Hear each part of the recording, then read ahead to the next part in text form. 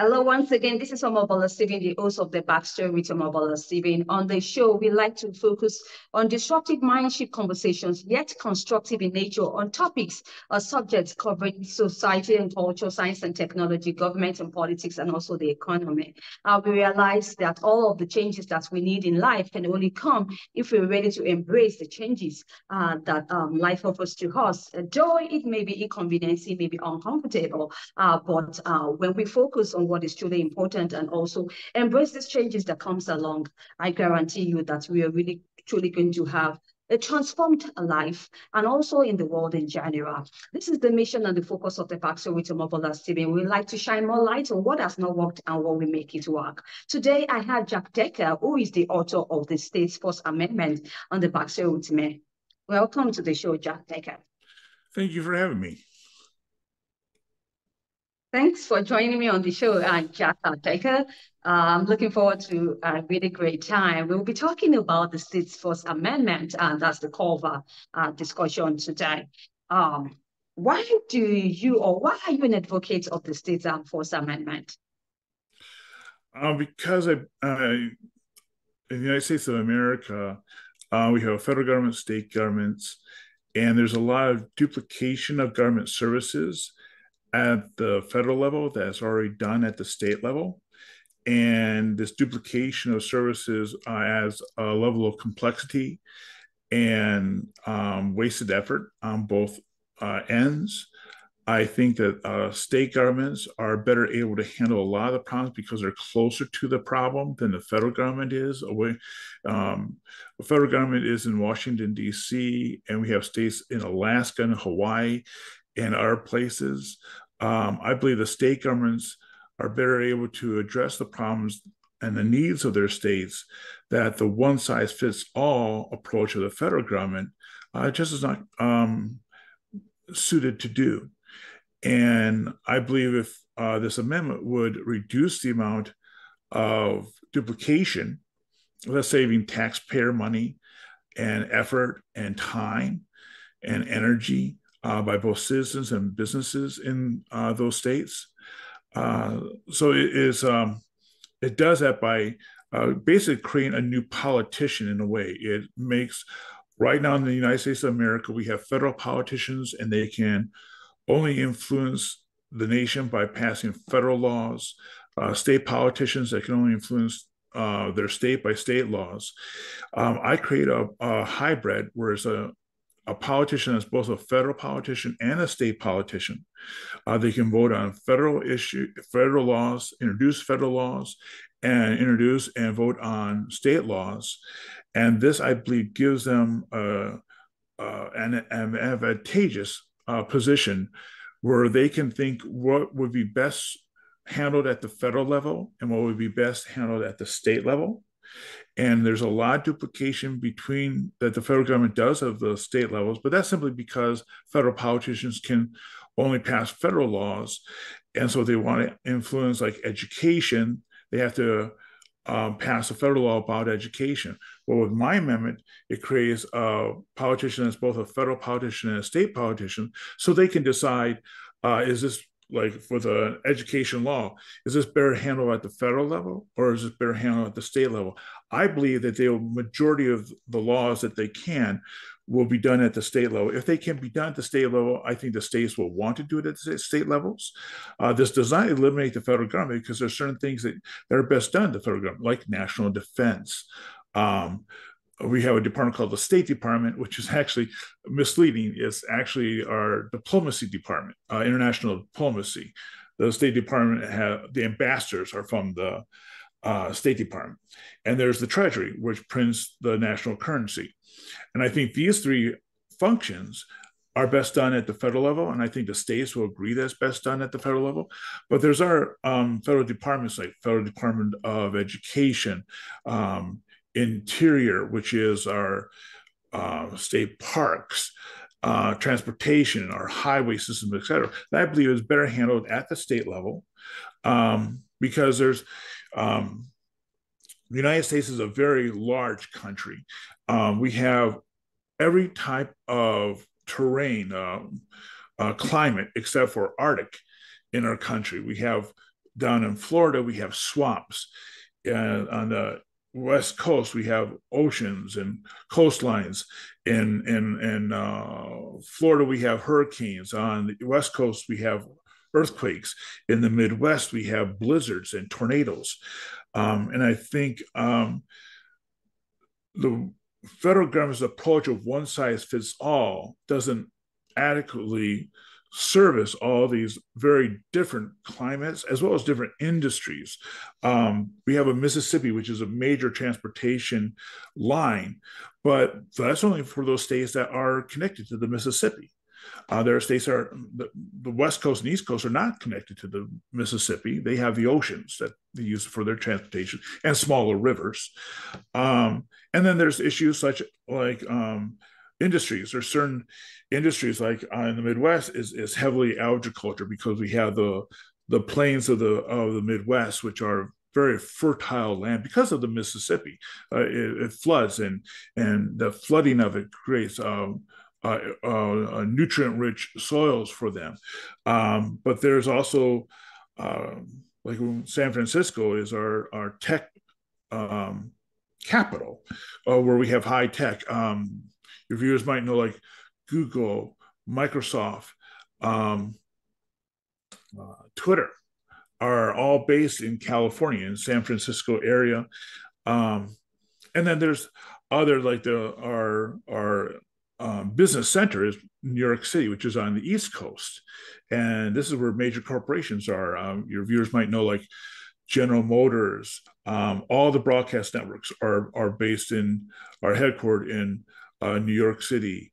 Um, so is I I believe because we're such a varied nation um, that the federal government's one size fits all can't adequately service the country. So I think it's best for the states to do that. I'd like us to talk about the amendment, the First okay. Amendment. Um, what does it consist of? Uh, States First Amendment. Um, you want me to go through the issue of the sections?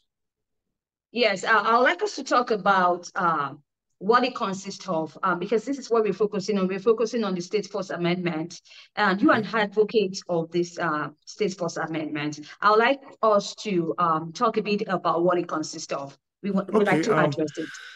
Sure. Uh, uh, section one and two talks about the creation of uh, this hybrid politician I talked about, which is both a federal politician and a state politician.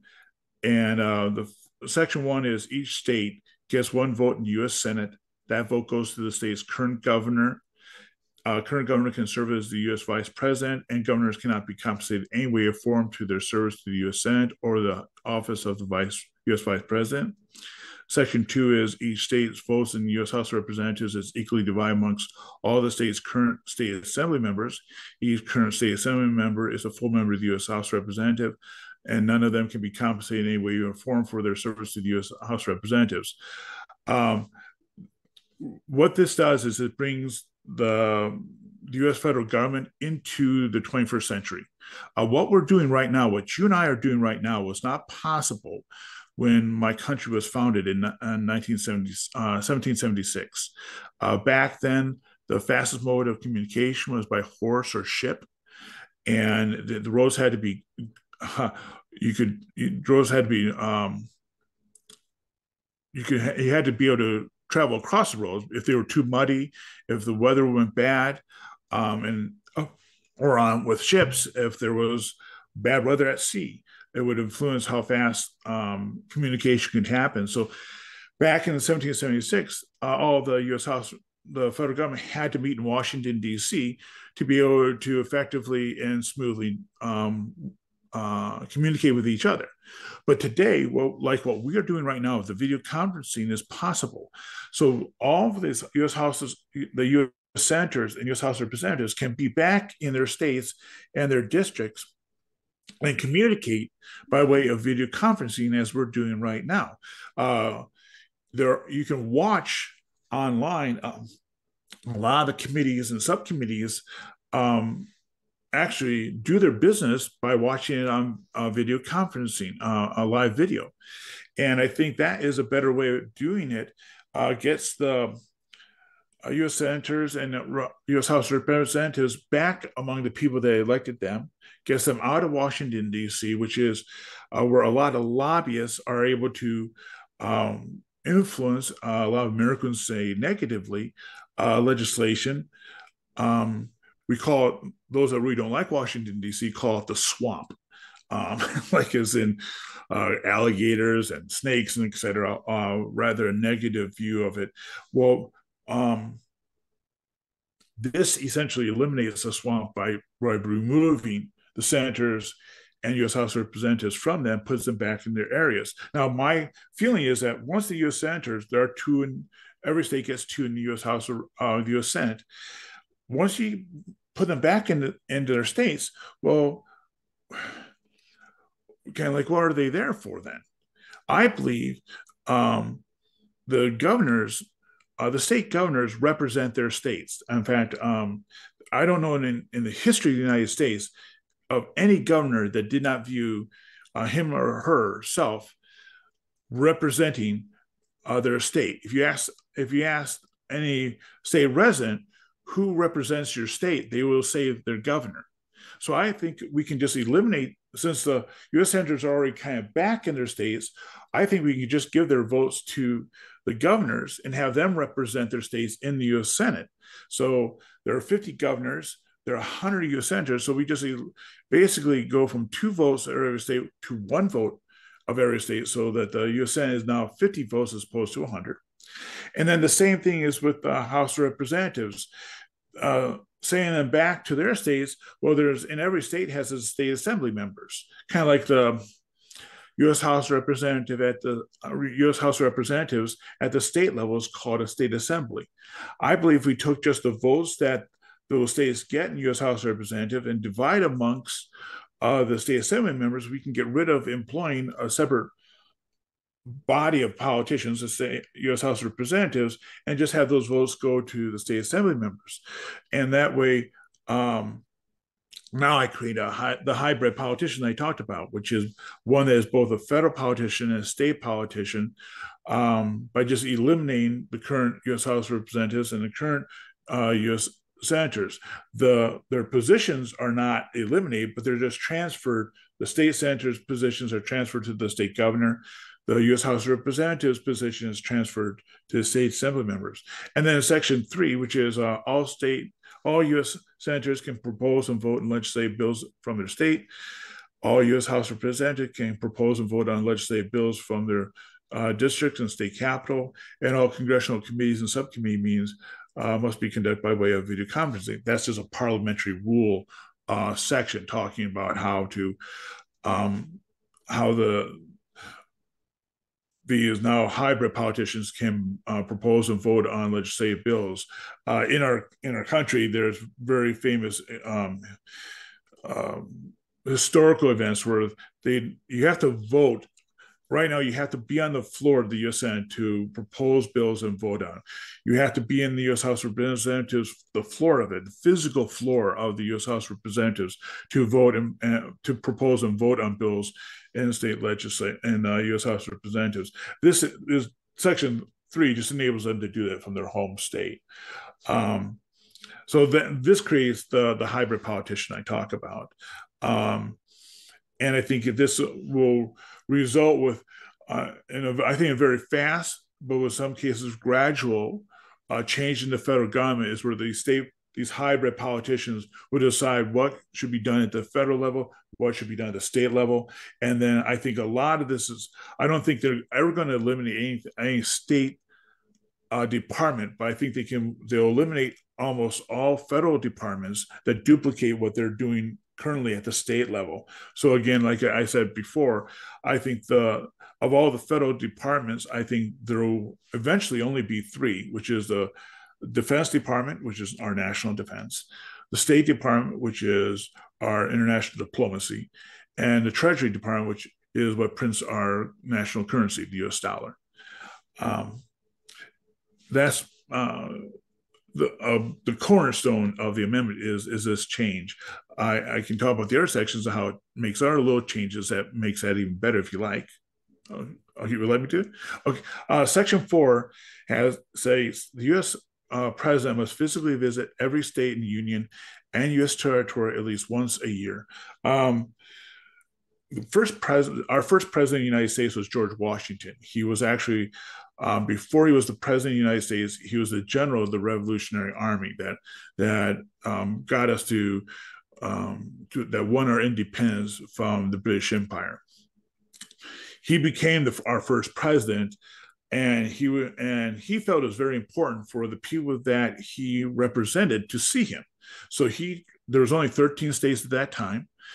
Uh, he personally went to each of those states so that the local population could see who uh, is governing them. He thought that was very important. The next president to visit all, all states was Richard Nixon, which was a recent president. I think it's very important that the president goes and visits every state so they the the, the states have a chance um, to make the president aware of their conditions and and the the populate the local populations can see him. He has a chance to interact with the uh, the governors and the state assembly members there. Uh, there are 50 states in the United States of America. There are 52 weeks in the year. I believe each state will demand that the president spends one week a year in their state. And that way, when then they have the attention of not only the president, but the national press, the, the nation will pay attention to their state for one week a year. And I think that's a really good thing. And um, because all the governors are actually also uh, U.S. senators and the state assembly members are also U.S. House Representatives, uh, the president has a very big incentive to to talk to them because they will be voting on federal legislation that he will either veto or pass, or pocket veto is called. Um, so he's not going to be treating these governors or and state assembly members in a bad way because he needs their votes to pass any legislation he wants to pass, such as like uh, uh the national budget. And um, I think also the U.S. territories should see the president. They won't get a week, you know, but when the U.S. president is over in Hawaii, um, he, he, he can um, the U.S. president flies in what we call Air Force One, which is a, a 747 jumbo jet, and on that jet he actually has. Uh, I think it's a king size bed that he can actually sleep in like you would in a hotel. He can actually sleep on the jet. And so he could f- go from Hawaii, they'll get their week. And then there's a lot of little territories we have around in the Pacific area. He could fly to them sleeping overnight and then spend a day or two in each of the U territories like Guam and um, other states uh, islands there, and he can do likewise when he's over in uh, visits um, on the East Coast, like Hawaii. I mean, Florida. Not way. In Florida, he Absolutely. could fly. He could fly over and visit Puerto Rico, uh, the U.S. Virgin Islands for a day or two. I think Puerto Rico would get at least two days. Uh, the U.S. Virgin Islands might get one day, uh, but he has two weeks to visit all the U.S. territories. And I think that'd be a very good thing. Um, I and then and then but that enables then the section five. You want me to go into that? The final? Of course uh now of course uh sure. for sharing um, these uh, sections and subsections uh, with my audience uh, uh, do you think uh let's set objectives that you have on your table as an advocate of the States First Amendment don't you think they are very challenging enough challenging enough for who? For for yeah i'm talking as you are an advocate of the States First Amendment and now you've read uh, the sections and some of the subsections of this amendment. And now um, don't you think uh, they pose some kind of challenges on the way? How do you hope to achieve all of these uh, objectives in the long, long run? Um to actually make this become reality uh I, I think it is um, possible because in in the United States, um, we have a U.S. Constitution. In the U.S. Constitution, we have a section of it that enables the states to have what's called constitutional convention. Um, the states can call a constitutional convention without asking for permission from the U.S. president or Congress. And they can call this and make amendments to the Constitution without um, totally independent of the president and, Congress. This amendment here the way I put it is, I'm not playing to the politicians' good nature to make this amendment pass. I'm playing to their bad nature. All politicians want more power. And I believe this gives the state politicians more political power. It gives the governors, see, right now, the states are kind of um, subservient to the federal government. Uh, the, the federal government can do, does something, pass a law, and the states have to basically react to it. Um, the federal government laws supersede state laws, and so they're in a subservient uh, position to the federal government. My amendment enables the state politicians to directly impact the federal government. They're the ones that are going to be passing the laws and voting on the laws. And um, it gives them more power. thus, it gives them more, I believe that gives them the incentive to uh, pass this amendment because all politicians like more power. The joke is never stand between a politician and more power. They'll just run right over you. Uh, so this gives them an incentive to pass this amendment. Um, I think that is the, the, real reason why this might actually get passed is because it gives the state politicians more power, and they have the ability, because of our con- how our Constitution is written, to call a constitutional convention and and pass this legislation without the president or the Congress having any input. But I actually think in this aspect that. Um, the U.S. senators will want this amendment as well. Uh, again, don't stand between a politician and more power. Um, U.S. senators um, had to win statewide elections to become a U.S. senator, just like a governor had to win, win a statewide election to be a governor. To a, so, to a U.S. senator, here's an opportunity for him to um, literally double the power he has or she has in the U.S. Senate and get the power of the state governorship. And so, all politicians are have massive egos. You can't be a you can't be a politician without a, a, massive ego because of just think of the the sling the mud that is thrown at them during campaigns and the scrutiny that they are under. If you didn't have a, a massive healthy ego, you'd be just crushed um, by running for office. And so I think they all will think, yeah, I can win the governorship. you know? So when they look at this amendment going this is well it does kick them out of their office. It, it fires them. Well but this says but it gives them oh i can go for the governorship. And thus I, by winning the governorship i are in the u.s senate and i could actually see them whenever they meet. They don't meet all the time. Is when but when they're in session they could meet still in Washington D.C. But I have a feeling that what they would do is every time they meet in session, they'll meet in a in a different state. Uh, each state has a U.S. Supreme has a state Supreme Court, and I believe when the U.S. Supreme Court comes to their state, the state Supreme Court will will uh, make a nice gesture and vacate their their court room so the U.S. Supreme Court can come in and sit there while the, while they're in session, and then you know, it'd be a nice way for them to uh, again do a little good PR for for the U.S. Supreme Court. But this right. basically, uh, right, right. And Jack, let's look at the ongoing challenge and to define um, free speech. Uh, sure. We like to talk about the ongoing challenge uh, to define free speech, as we all know that this amendment protects freedom of speech.